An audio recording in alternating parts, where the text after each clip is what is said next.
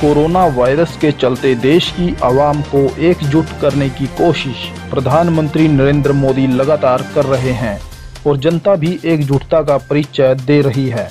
21 दिन के लॉकडाउन के चलते सबसे पहले पीएम मोदी ने पब्लिक कर्फ्यू के लिए देश की आवाम से अपील की थी, जिसमें कहा गया था कि देशवासी 22 मार्च को सुबह 5 बजे से रात्रि 9 बजे तक अपने घरों से बाहर ना निकलें।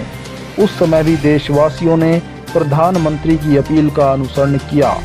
और अब दूसरी अपील मोदी जी की तरफ़ से ये थी कि सोशल डिस्टेंसिंग बनाकर रात्रि 9 बजे से सभी अपने घरों में दीपक जगाएँ और घरों की सभी लाइट्स को बंद कर दें। इस पर भी सोशल मीडिया पर देखने को मिला कि देश की जनता ने बिल्कुल वही किया, जैसा प्रधानमंत्री नरेंद्र मोदी जी ने कहा था। किंतु कोरोना को सिद्धांत सोशल डिस्टेंसिंग को इस अपील में बहुत कम देखा गया, जहाँ सभी ने दीपक तो जगाए, लेकिन देश के कुछ वीआईपी भी सोशल डिस्टेंसिंग के सिद्धांत को फॉलो करने में नाकाम रहे। चलिए सबसे पहले आपको दिखाते हैं, प्रधानमंत्री नरेंद्र मोदी सोशल डिस्टेंसिंग को लेकर क्या कह रहे हैं, और फिर दिखाएँगे कुछ तस्वीरें जिनमें कौन सोशल डिस्टेंसिंग का ख्याल रख रहा है और कौन नहीं। सोशल डिस्टेंसिंग को किसी भी हालत में तोड़ना नहीं है। कोरोना की चेन तोड़ने का यही रामबाण इलाज है। इसलिए 5 अप्रैल रविवार को रात 9 बजे कुछ पल अकेले बैठकर